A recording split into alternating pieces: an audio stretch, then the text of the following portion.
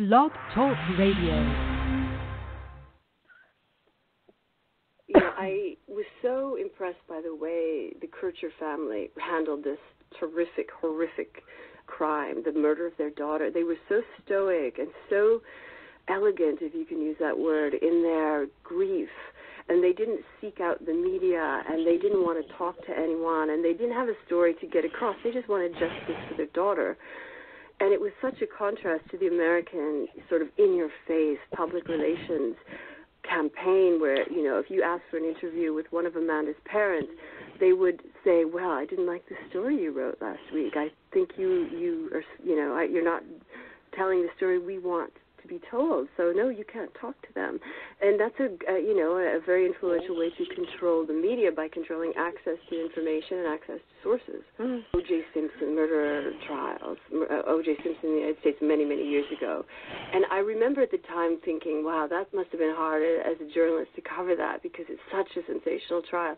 Then to find yourself in the center ring of a media circus is daunting. Those of us who lived in Italy at the time, those of us who understood the language, we were sort of, in some strange way, at the epicenter of this media circus. And you felt sort of responsibility, and you also felt very strange when people from all over the world would descend on Perugia to cover the case, and you felt like they didn't understand it, or that they were too influenced by the Knox family, or didn't even mention Meredith Kercher's name at all in their stories. It was frustrating, but it, it gave me resolve to stay objective, to sort of maintain my theory that Amanda Knox could not be innocent just because of the passport she carried, but it has to be about evidence. And as someone who covered the trial and went to every single hearing in the first and second trials, I really did feel there was enough evidence to convict her, to find her complicit at least as having a role in this murder. Mm. My family hates me, absolutely hates me. And I got incredibly vile text messages all throughout the trial from Amanda Knox's stepfather. Those who supported her sent me hate mail, hoped, you know, wished upon me the same outcome that Meredith Kercher had, you know, ter- horrific sorts of things. Whenever I had a threat that seemed a little bit strange or too dangerous, I just handed it to the police in Perugia because I thought, oh gosh, you know, maybe I could be walking down the street and who knows what would happen. There was a lot of anger towards anyone who was trying to be objective, especially if we were American. Hi, welcome back to True Crimes Podcast. That was a clip of an interview with journalist and author Barbie Latza Nadeau. She wrote the book Angel Face about the Meredith Kercher murder.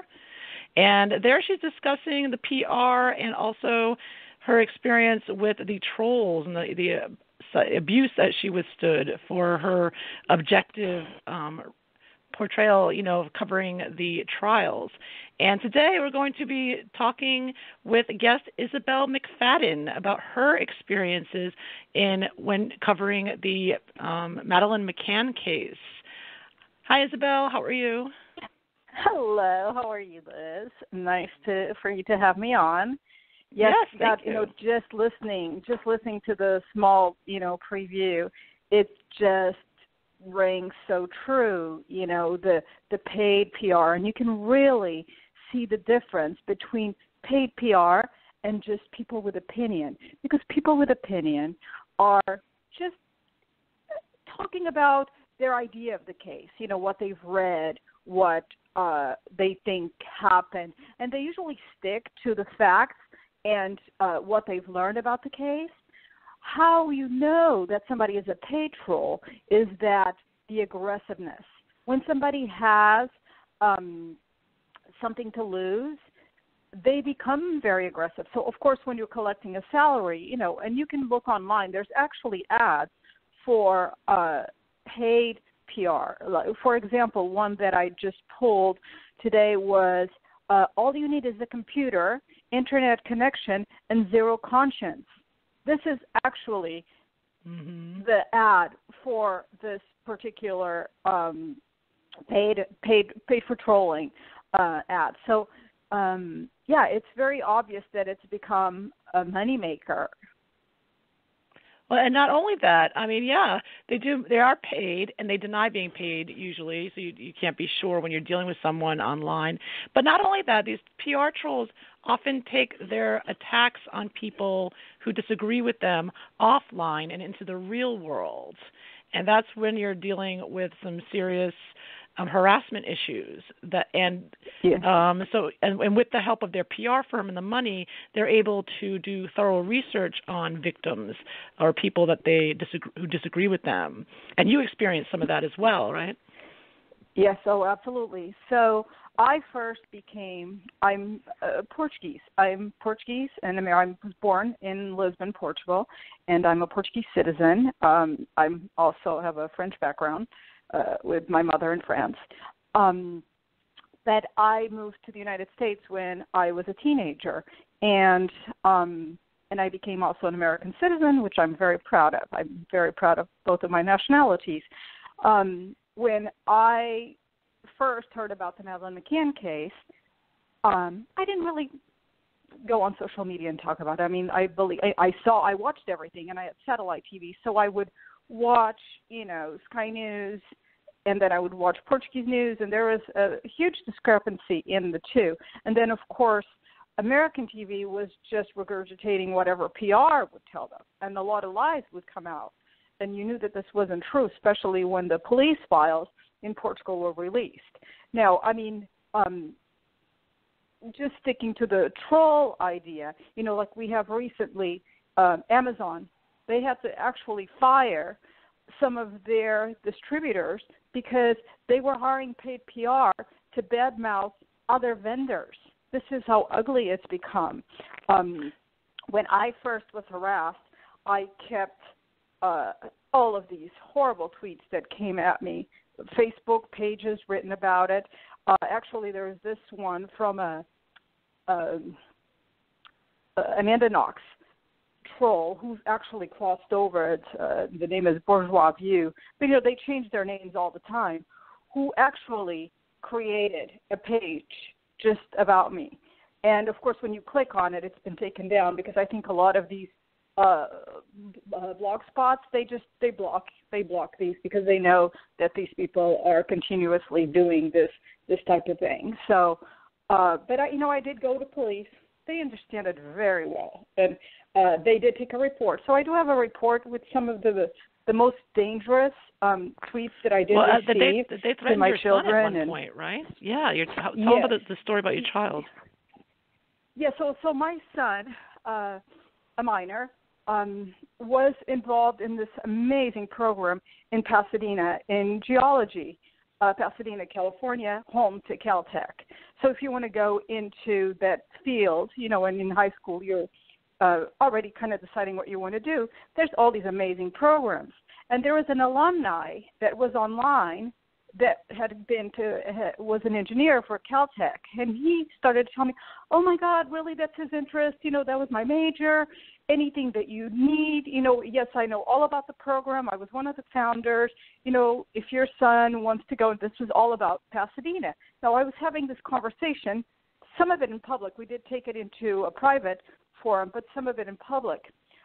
Um, a woman named Barbara Muller from the UK, who used to be um, on, you know, trolling for the McCanns like every day and night. Um, she posted maybe like a day later that she was going to send one of her men to Pasadena, knowing very well what you know the threat uh-huh. was to me. Of course, you know some people are like, "What is she talking about? Why is a man going to Pasadena?" I knew exactly what she was talking about. She was talking about this conversation where I was saying my son would be alone in Pasadena, which is you know about an hour from my home for this summer right. program. So just you know this kind of thing. You know, my daughter did. uh You know, the teenagers now they do this. You know, challenge. You know, bucket challenge, and you know, eating like funny foods, and and so they have a a YouTube channel like a lot of the teens have now. It's just darling. It's very cute, and um and all their friends, you know, they're all opening their own, and and I log on to Twitter, and there is my daughter being discussed, being daft and dumb, and she's so pretty, but she's probably stupid like her mother. I mean, just like amazing things. Then I sold. I might.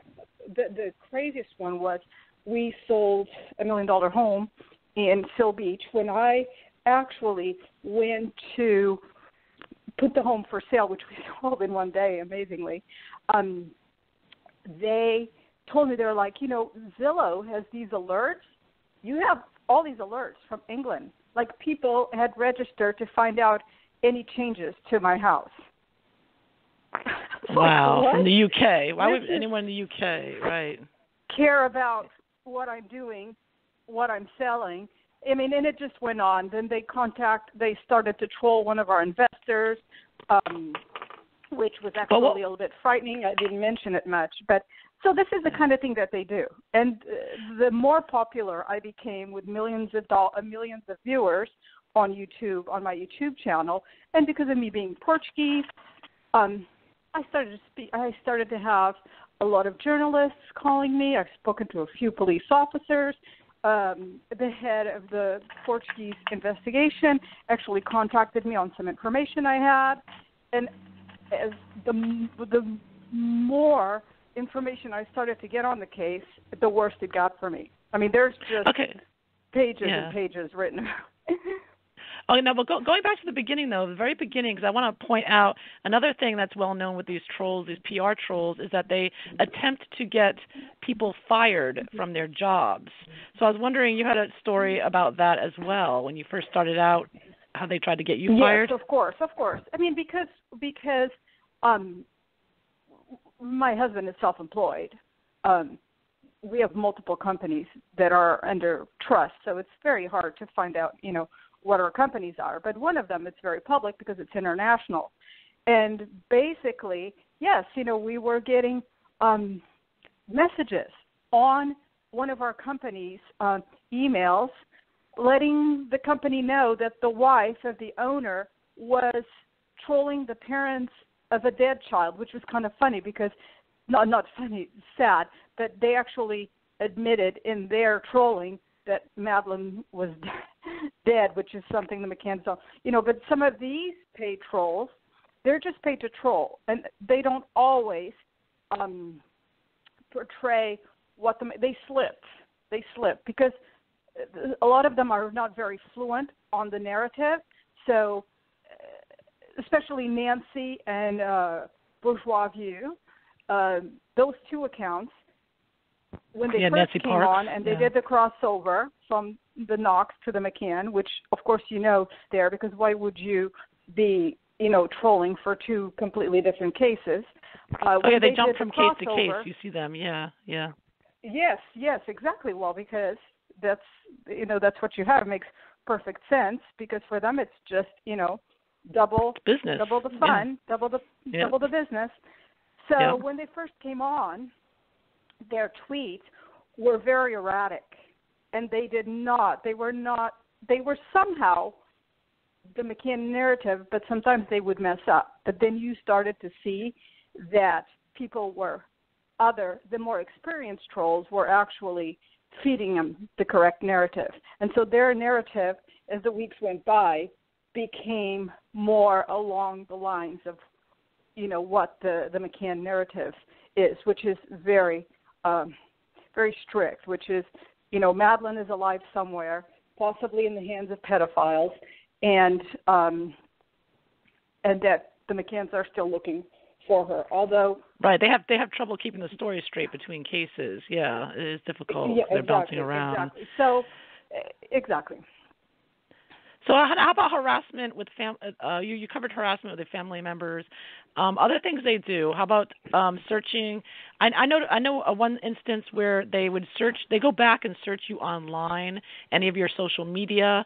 And I know there was one uh, crime writer that they found an old old blog, like on MySpace or something like 10 years old. When she was very young, she had Mhm. written something, and they took that information and threw it in her face present day on the on social media and it was something you know to humiliate her so these these are the kinds of things that they'll do they'll they have all this time and energy to go back and research anything you've done and and all your friends and family on Sure, so sure. link, I had LinkedIn that too. and I had that too. Um, uh, professionally, you know, um, I was elected. I was uh, a PTA president of a school. I was also secretary, VP of uh, different um, communities, and uh, there is an article. So whenever there's actually quite a few articles about written about me in the news because I do a lot of charity for my husband's companies and you know just different things that I've personally done because uh you know I I I'm a stay-at-home mom so I I try to occupy my time with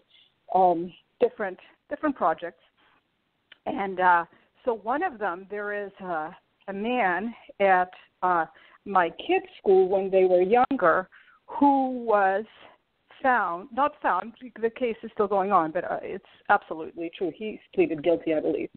Um, was molesting not the children at the school, but coaches from his that worked for him. He was actually the PE teacher. Okay, so when he was arrested, I'm the con- I was the contact for the school. Still, I don't know why, but I mean this was years later but still under PTA president, it's still my name because I think I did the most um, social things um, and social projects with the school. So my name was still there, and I immediately got a call from a friend from the Orange County Register, which is quite a large paper, uh, asking me about the case. And I was like, you know what? I literally just watched it on TV seconds ago, um, and my husband was like, doesn't that guy like they're talking about McGaugh. They're talking about your school. Isn't it the PE teacher? And I said, yeah, yeah. And he's like, wow, that's crazy. So I really didn't know any much about it. So I said, you know, um, promote. You know, I'm completely shocked. This guy is very popular. He had been at the school for 25 years. He had been at the school um, doing the programs for 25 years, and um, so people just loved him. So I said, you know what, I'm I'm quite shocked. And uh, you know, I promoted his programs because as PTA president, that's what you do. You promote the programs at the school, the arts, the sports. So the, so the trolls, the trolls found out about this and claimed that you promoted a pedophile. Yes. Is that what happened? Okay. I got How you. How amazing! But of course, I actually ended my sentence. I said, "I'm not saying he didn't do it." I said, it's very possible. We don't know. This has just come out. By the way, not only was I praised by the principal at the school, also the mayor. He's like, "Thank you. Your interview was perfect. You know, you did not dismiss him. You, it was the perfect response because, of course, the city had been employing him for the summer school stu- no, for the summer programs. So they were just everybody was horrified. So, anyways, but well, I well speaking of pedophiles, didn't you find out that the PR firm hired by the McCanns wasn't uh, Clement Floyd? You were telling me.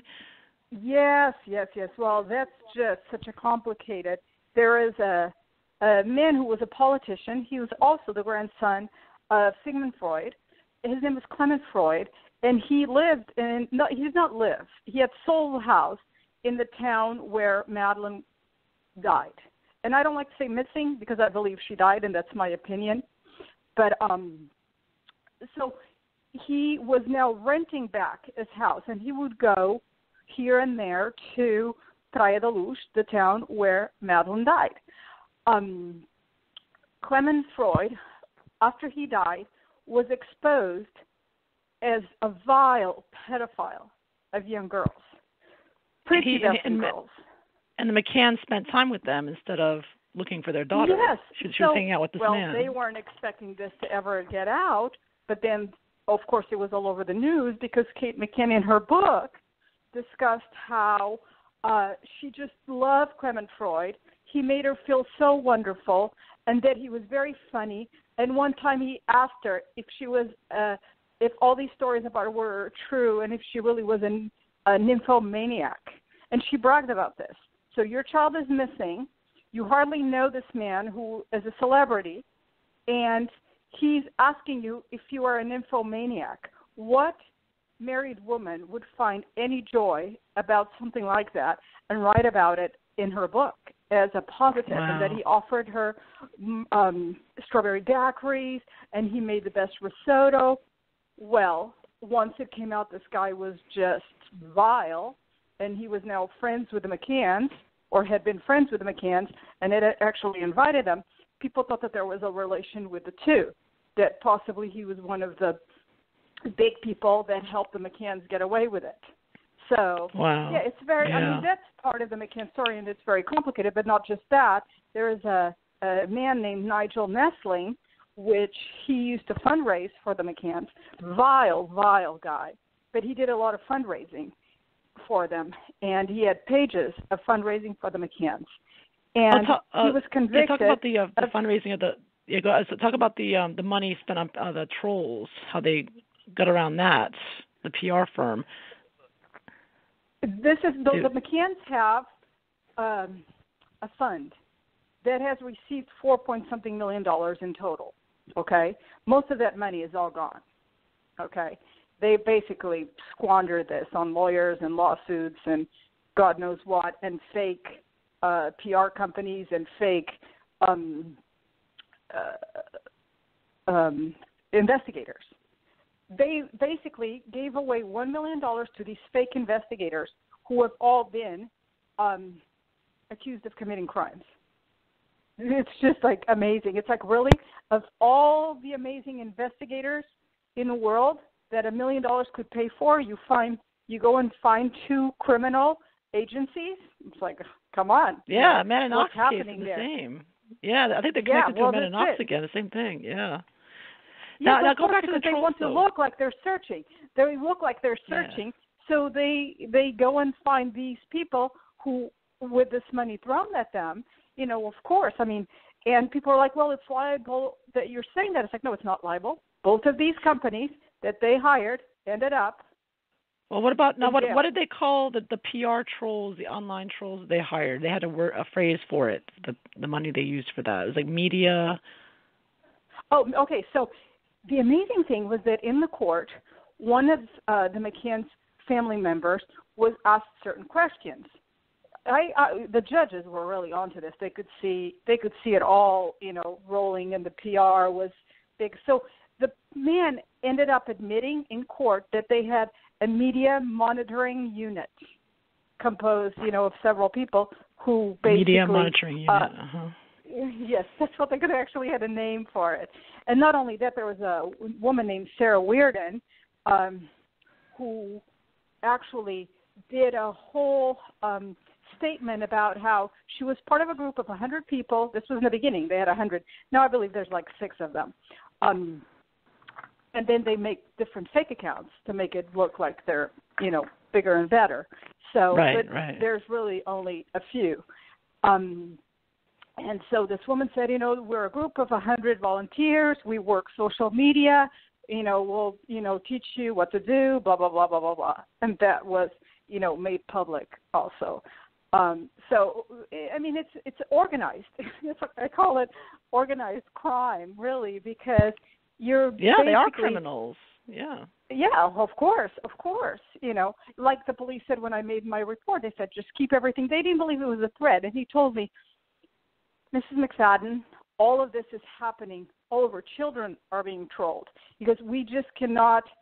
It's so difficult, and you know, from country to country, he goes, just find solace in the in the fact that nobody believes these people anymore. When you see the trolling of regular people and then you see that the person is maybe involved with a particular cause, you know, none of it is true. You just are like, okay, well, I, I now I've become even, you know, are being the- trolled.